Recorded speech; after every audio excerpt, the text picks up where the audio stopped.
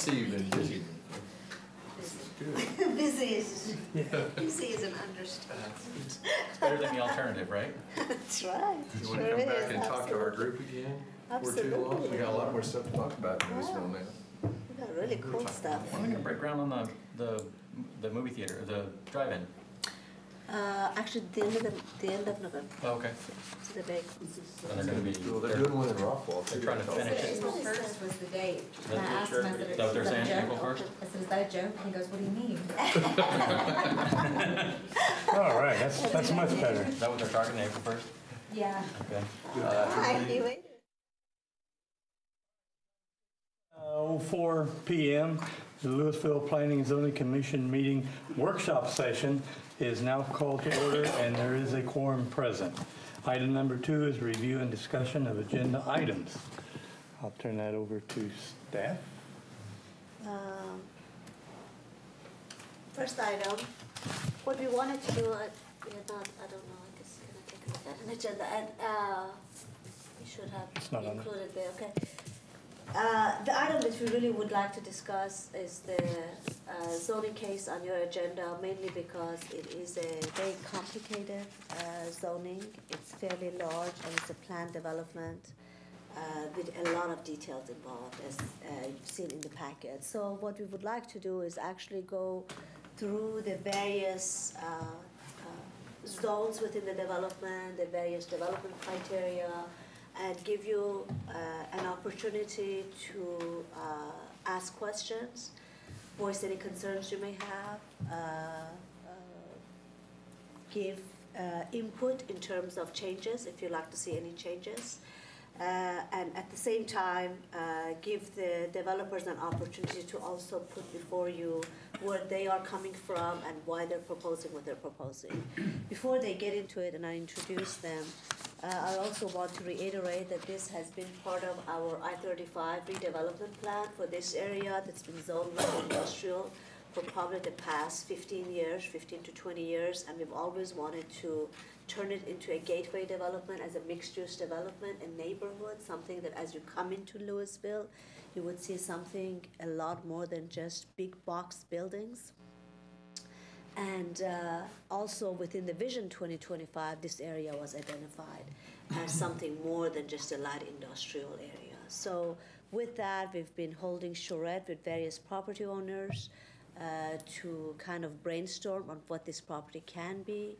As part of that charrette, uh, Prologis, who was the largest holding property owner in this area with light industrial zoning, had decided to put the property up for sale.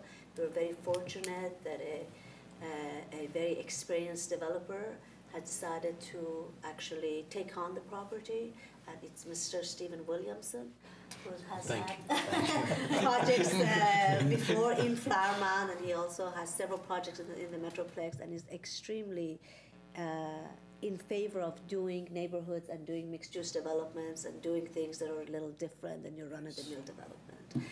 With that, I'd like to introduce his land planner, who is again has his own huge credentials bringing to this project, Mr. Dan Quinto, who was the land planner for Southlake Square, uh, the, the Flower Mound Lakeside development. So he, he, he has a, a huge amount of experience in, in, uh, in uh, doing uh, form-based codes and mixed-use developments. So with that, I'd like to turn it over to Dan.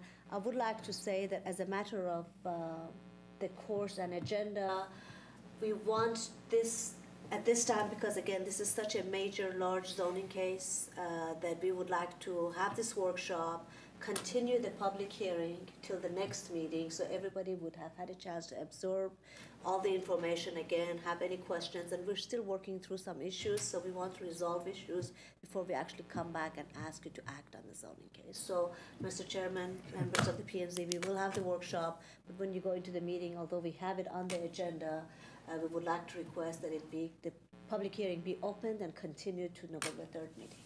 Okay. So with that, Dan. Great, thank you. Um, And thank you for giving us the opportunity here. Um, My name's Dan Quinto. Uh, I've been, this is uh, the second or third or fourth project I've been doing with, um, working with uh, Stephen Williamson. Um, what I want to do tonight is just run through a couple of items. I want to go through, you know, kind of an introduction to us in terms of our, um, our It's a experience. touchscreen, Ah, so, that's so, okay. Yeah, you That's touch it all. magic, okay. Um, Run through some of um, prior projects that I thought were applicable here, and then talk about the existing site. I think everybody's familiar with that, so we'll zip over that. Um, And then go through the components of the code. Um, I went into uh, greater detail when I briefed uh, staff, um, that I'm gonna do right now, so that we can have time for questions and answers. Um, But these are the components uh, of the staff in terms of zones, uh, open space, streets, um, thoroughfares, oops, pedestrian network, there we go again. Um, And lot types and building types. Um, So just to get on with it, um, Stephen has been, graduated from University of Chicago with an MBA. Uh, He's been doing real estate in Dallas for 30 years um, experienced in all kinds of uh, development, residential, medical, retail, office, and so on. Um, No outside investors, I'm speaking for you, so. That's- I'm getting to. That's Um, exactly right. And um, uh, there's the the Dallas portfolio, um, over 250 acres of commercial development. Um, There's a Louisiana portfolio as well, which is um, more timberland and farmland. Um, There's no debt on any of the current projects, and the current development includes all of these projects that you see here. uh, The West Side Market in Frisco, the Starwood Village, MacArthur Village, and so on. Then we get to me, um, not trying to, you know, pad my resume, I just want you to feel comfortable that you've been here before. Um, I'm an architect, I'm also a, a real estate agent, um, and I want to talk about a couple of the projects that I've, I've done in the past. Um, Southlake Town Square, which is hundred acres of mixed use with no residential. Um, that was what brought me to Texas from, um, uh, Disney, from Florida. Um, Hometown, which was three hundred acres of mixed use, uh, under construction. Um, Belmont, thousand acres in Argyle and North Lake. Um, now it's, uh, now it's called Harvest. Um, Chisholm Trail Ranch, worked on zoning and, uh, design guidelines. That's, uh, six hundred acres in Fort Worth, mixed use. Um, Lakeside DFW, 155 acres of mixed use in, in uh, Flower Mound. Uh, Southgate, uh, about 108 acres in Flower Mound, also mixed use. Um, The Riverwalk in Euless, um, Bear Creek Riverwalk, which is um, also a mixed-use development, commercial along uh, 83, uh, 183 and uh, 360. And um, the lofts of Main Street in Mansfield, which is, I think, particularly apropos because they have a, a a historic downtown. We were looking at kind of an extension of that downtown by adding um, higher density residential to kind of stretch the, the market and the uh. And I'm, I'm happy to talk about any of those uh, if you want more information about them.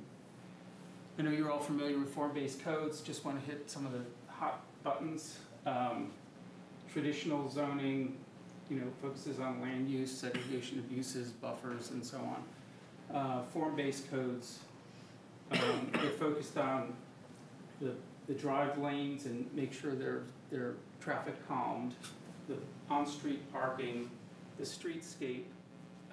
Gotta stay away from that guy. Uh, the the streetscape, which is that portion between the curb and the building, and then the building itself, and the form of the building and the uses within the building. Um, so pedestrians are a higher priority. Um, what's especially important in form-based codes is block structure. So you want the buildings around the perimeter of the block, the parking on the interior of the block, so that you're keeping uh, the perimeter of block for streets and sidewalks and pedestrian activity. So here's the site, and the challenge is um, to creating a kind of a strong block structure. Um, there's the outline of the uh, tract in, in question. We've got retail office, single family down here, multifamily over here. Um, So multiplicity of uses. Um, If you look at the survey, um, you'll see some of the obstacles we have to making this kind of one single integrated neighborhood. Um, We've got a gas easement here, we've got a- a well site. See if I can get more out of your way. Um, We've got uh, drainage easement in detention. We've got uh, drainage easement cutting that site in half. We've got uh, utility easement chopping off the bottom corner. Uh, Telecom easement taking up a pretty good chunk there. Um, And of course, the railroad along the southern boundary. These are the available if we want three entrances. This is sort of where they have to go. They can't get three without, uh, with a different configuration. If we switch to two uh, entrances, then we can't use the existing median breaks. Uh, On Summit, those are the existing median breaks. We want to kind of marry those up to where we're planning entrances on that side. Um, So we get um, kind of the, the, the uses that we think make sense on the site. So more commercial facing thirty-five, less commercial as you go deeper into the site, and to get to single family on the southern boundary. So these are the zones. And the idea is there's, uh, each zone has a designation, zone one, Z one, Z two, Z three, four, five, and six. Each zone has uh, an estimated area, a maximum area, and minimum area, so that they're, they're allowed a little bit of flexibility as we go through the design process. Um, The open space is also numbered, divided this into two pieces. Um, So we have uh, the area where the detention pond is, and then the area around the detention pond. And what we're, what we're looking forward to is being able to uh, provide some kind of amenity within those areas, even though the restrictions on the land uh, currently say you, you can't make any improvements. So we're looking at um, kind of revisiting those uh, easements.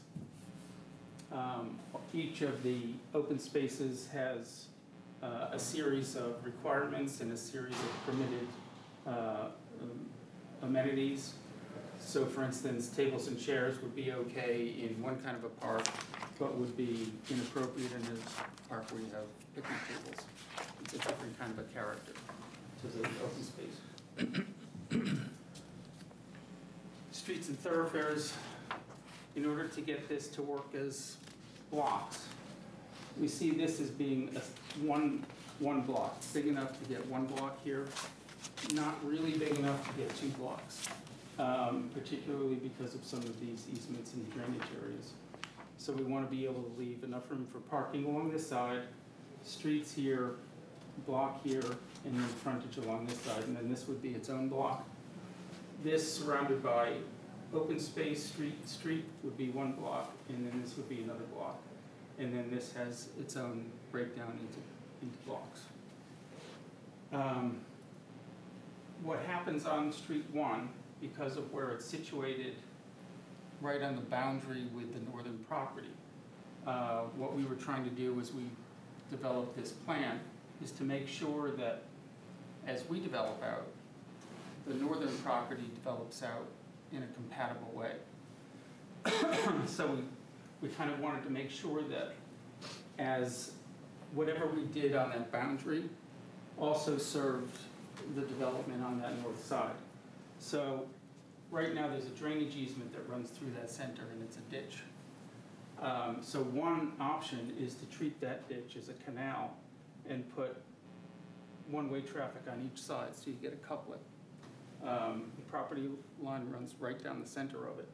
So this could be, you know, may not look exactly like Amsterdam, but the idea is that you make a feature of it, um, so that it's attractive. If we don't do it that way, we'll have to turn, kind of turn our backs to it, so that it becomes uh, less noticeable as just a drainage feature, so that the fronts of the buildings then face the other side. And that means if we turn our backs to it, then it's likely the northern side will also turn its back. And then on Summit, also, once again, we're trying to tie this all together. So the idea is to um, make Summit at least partially m- more of a uh, pedestrian-oriented street. So you have on-street parking, sidewalks and street trees along the perimeter, uh, two lanes of traffic. So you're not changing the capacity of the street, but you are changing the character of the street. Uh, Also considered the possibility of putting in a roundabout at the major intersection.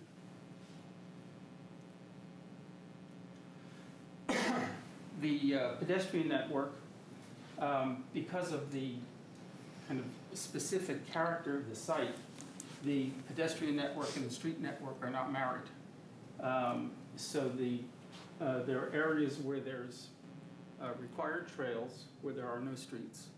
And there are areas where there are, uh, there are streets without trails. So um, the blue represents required pedestrian connections. The green represents uh, pedestrian connections, some portion of which is required, some percentage of that is required as the project develops out. And the brown is um, uh, uh, sidewalks that are either on town property or part of uh, the town's master plan. So this is uh, part of the uh, trail master plan Golden Road. And again, we're cognizant of leaving openings to, to the, to the property to the north. These are excerpts from uh, previous concept plans. So just wanted to demonstrate how it, how it would match up with uh, those, those plans. So what that is referencing, we held a city-sponsored charrette with all the property owners in that area with the planner that we had hired, uh, actually the planner that did the I-35 plan. And so as part of that, we came up with our own plan, and then we wanted any developer that would come and match that plan, so that's referencing.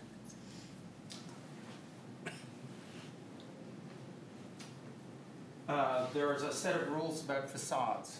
Um, So the, the bottom portion um, has to do with that section where it's along the sidewalk and it's pedestrian friendly. So there's a, a minimum amount of glass area, uh, minimum access off the sidewalk through the building into the, in front doors. And then the upper section also has minimum and maximum glass areas. Um, we have um, um, kind of a definition about how that gets treated. Um, And then there's building types. And this is kind of the basis for a lot of what is in, in the code. We have, we're defining seven building types. The first building type is basically your conventional suburban office building. It's office on all floors, on the ground floor, interior access to those offices. The second category are commercial over commercial, mixed use. So you would have uh, office, office, and then on the ground floor, those ground floor offices would be accessed from the sidewalk. Um, And they can be offices or retail or restaurants. Building three is living, I'll get the hang of this yet. Uh, living, living over, re, over commercial.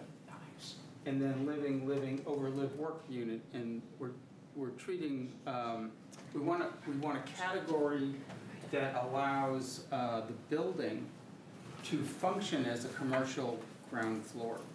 Uh, that is to say, it has shop windows, it has entrance off the sidewalk and so forth, um, but does, doesn't necessarily have you know, soft goods or restaurants. Um, So that's a live-work unit. Somebody can live there, open up a business, have, um, it's a psychologist or um, Gallery, an artist. artist, exactly. Architect. Okay. Or an that's very. Um, And then the, the fifth category is just the straight-up um, urban, uh, urban residential building. Uh, Then you get into, uh, six is a townhome, seven is a single-family detached. And these are some pictures of, I have more pictures coming up. Um, Building type one, and then this is in the code of uh, what's required in terms of um, masonry, ground, ground floor glazing, upper floor glazing, height limits, and so on. Um, Some examples of building type one. Um, and you can see landscaping around, you know, parking lots. Um, Building type two, where you have offices over either retail or other offices. Building type three, we have, um, live, living units over commercial. And these are all projects that I've, I've, uh, worked on. And then you have, I didn't work on this one, um, then you have, um, uh, living over live-work units where you have access to the ground floor, um, but that ground floor is not necessarily commercial. And then these are the urban residential. So it's designed to go to the perimeter of the block, kind of act as the, the boundary to that private area, um, and really set up that street wall so that you have a nice uh, streetscape. And it really reinforces that, that neighborhood feel. Single-family townhomes, um, obviously a wide variety of uh, possibilities there. And um, single-family detached. Um, These are some of the houses that we did in um, Lakeside, um, Lakeside here also. Um, Just wanted to kind of circle back to the origin and discuss why, why bother with all this? um, And not just leave it um, uh, light industrial. There's um, advantages to the city. Um, Economic development is one of the reasons, one of the basic reasons. Um, If you look at all the major employment centers in Dallas-Fort Worth and really around the country, they're located in areas that are uh, very rich in uh, amenities and densities and things to walk to, uh, like restaurants and hotels and so forth. And those areas also attract that, that young professional demographic that wants uh, the option of being able to live without a car. Um, It's also sustainable. Um, Council of Governments has um, a, a program of design excellence, and uh, they are uh, identifying mixed use and um, uh, transit-oriented development as a method of uh, improving the efficiency and sustainability of development. Uh, Leeds also has uh, a program for that. And it enhances the character. It's a, it's a kind of a cool place uh, to live um, if it, if it functions um, as planned. So this is the, the concept plan. Um, The idea is, uh, you have your commercial corridor, commercial corridor along here. Live work is required along here. Um, And then these are a little bit more flexible in terms of what kind of housing it is. Um, And then along here, it's um, required to be single family. This basically the single family uh, across the, across the uh. So um, I wanted to get through it quickly so we would have time for questions. I know there's a lot to digest there. Um, The presentation to staff had a lot more kind of a technical discussion of the mechanics of the, um, you know, what's, what's permitted in one place and what's prohibited in another place. Um, And that took, I think, an hour and a half. Um, So I'm, um, I'm happy to be able to do it in I just want to add that the base zoning for this district is also our own mixed-use district standards. So basically, whatever that you don't see here, that means the city requirements take over, basically, supersede. So there are things that are described specifically here that would be specifically for this development. But the fact that our mixed-use district is, is our base zoning gives us a lot of comfort level in terms of the development criteria and, and what needs to, to be part of that criteria. Uh, Dan, one thing I would like you to touch on, just uh, for the commission to be aware of, what will decide at the end of the maximum will produce number of, if you could come, touch on the number of residential units, number of, uh, or square footage of commercial space, and those possibilities. I know it was on one of the pages, but, Yes, um, we didn't add, we didn't total them, um, but on page three, um, there's a maximum residential units per, uh, per zone. For zone, okay? Um, and you, you can't build the max in every zone because it assumes you're maxing out the area as well, so, um, you know, if you, there's a maximum min for each of the areas. So you can't just, uh, go across there and add up the total. Um, but we could, we could probably establish a total if, uh, if that needs to be done. Probably that's not a bad idea to do that, also come up with a total for the office and the townhomes, detached and attached units possibilities. So, By next month, we'll have those numbers. All right. So those are some of the things, again, we are uh, working to get you, in- in- you know, this, this plan gets more detailed and more detailed. We want you to have all the information before you make a decision. Uh, So that's primarily for having this work session now and then coming back for the, for the approval of the next week, or two weeks. So with that, any questions, any comments? How close is the gas well you, we were talking about earlier?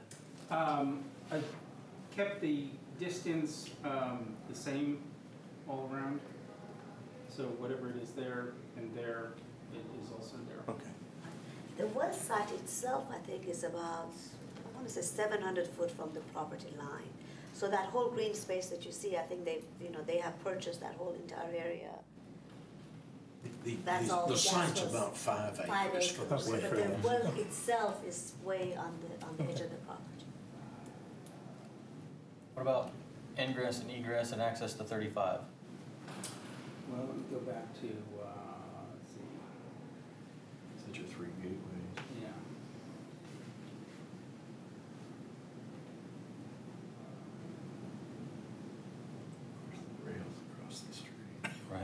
So um, we're anticipating that this is the what the, is the street section we're hoping for. Okay. Um, so that would be a two-way ingress and egress. There would be ingress and egress here as well. Um, and then the third one. Um, and I went over that with uh, Richard. We looked at the I-35 build out, ultimate build out, and it looks as though those are feasible. Um, we're leaving all the existing uh, curb cuts, not messing with any of those. Uh, median cuts, I mean. Um, on Summit. On Summit. Yeah. Right. And then there are only two places to get in over here around the gas well. I think there's one curb cut here in the middle of the gas well now. Um, but, you know, I didn't even touch it that time. you have to get cl just close um, enough. It's your vibe. Um, It's very touchy. Um, But those are the only two possibilities. Um, Because we obviously can't go through. So I'm all concerned about thirty, the thirty-five, uh, the access road there, or, and access to, and when they come out of the property or into the property, there- there's gonna be light there, or we're gonna, it's gonna be just, Well, this is of course one-way traffic right? on, on I thirty-five, so it's, Right. it's very, very kind of self-contained. Yeah. So It'll be right generally, in, right out. right, Okay, Yeah. you wouldn't have that. okay, Service road would be two lane anyway, or minimum two lanes. right.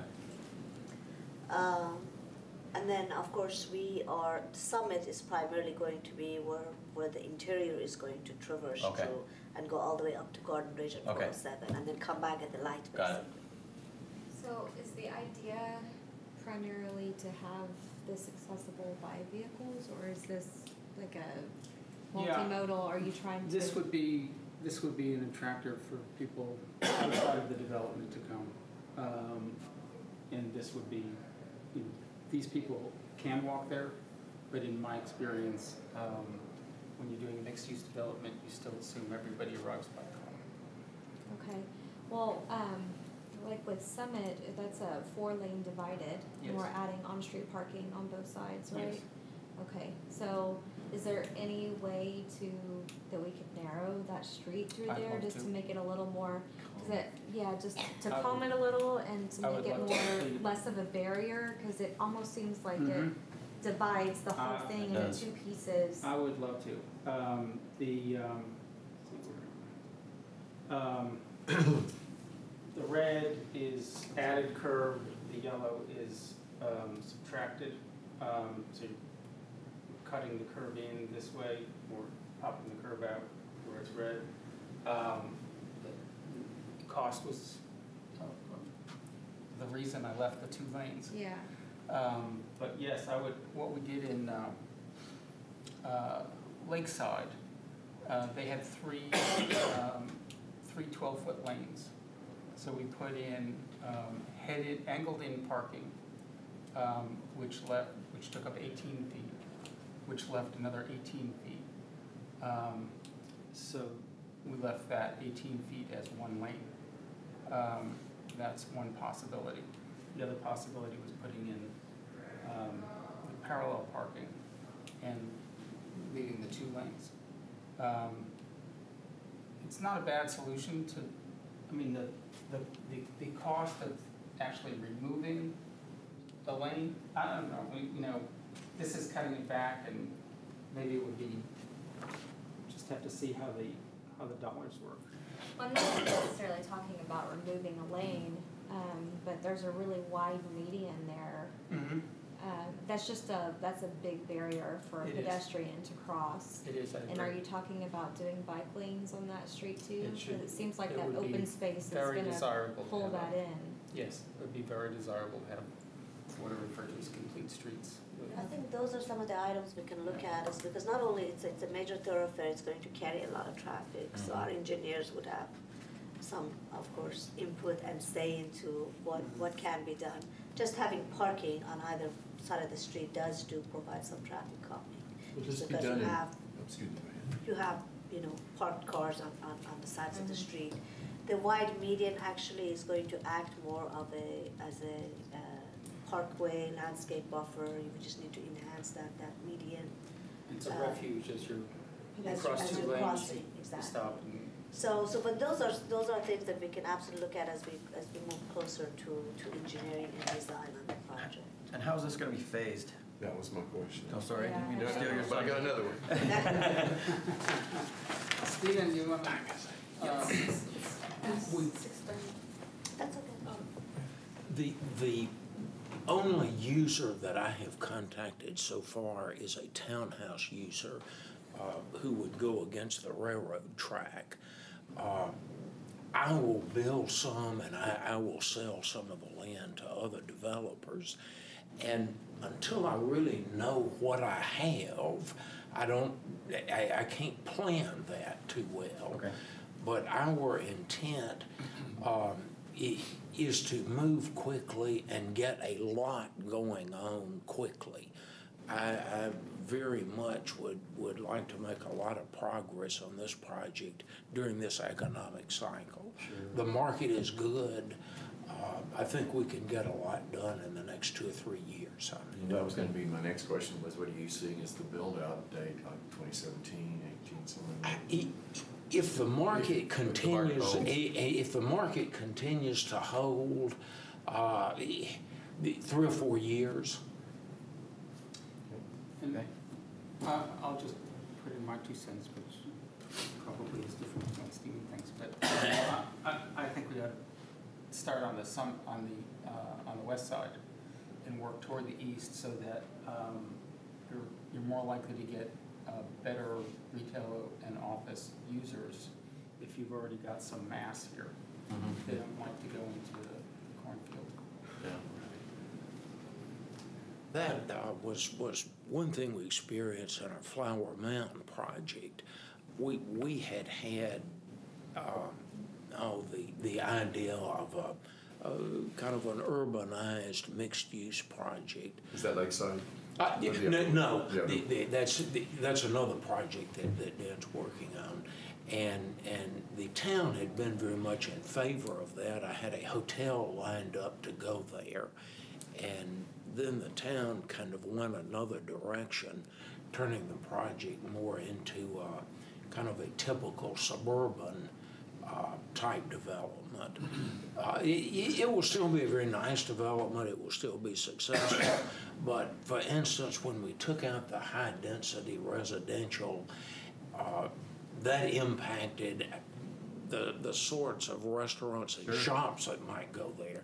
And The hotel said, hey, look, we're just not interested unless you bring the total package together. And, and Yeah, we need the high density. the, No. the, the, the, the total vision of the project changed kind of midstream there. Is that the one was out there on twenty-four ninety-nine? Yes. This is uh, the Southgate project. Uh, This is twenty-four ninety-nine. This is Giroux. The Grapevine Golf Course is right. Right. there. We'll never get that right. Um, And, and we have some good things going on there, but it, it's just not the project that Dan and I wanted to build. It's, there's sort of a difference between mixed use and mixed zoning. Um, And it, where it was mixed use, where you actually had, you know, a real integration of the uses, um, now there's kind of a single-family pod and I think where we're going is basically we'd like to create that mixed use, or they would like to create that mixed use, true mixed use as part of this project. And of course, again, getting some of those uses, it all depends on what kind of package uh, is in place for the entire property. What are you thinking about signage for this? I haven't gotten there yet. Okay. I mean, that'll be just be Yeah, and we generally try, because our sign ordinance is completely separate from our zoning ordinance, and so we generally try not to tackle that at the time of zoning. When they come in, they either bring in again their own sign package that goes to the city council directly if it's different from our ordinances, or they comply with the city ordinances. I I could see there being, um, on west of Summit, to have individual sign packages, but I think on the east side of Summit, you'd want a unified, uh, unified deal.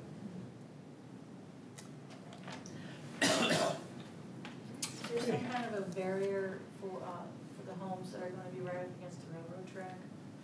How's that having that their boundary?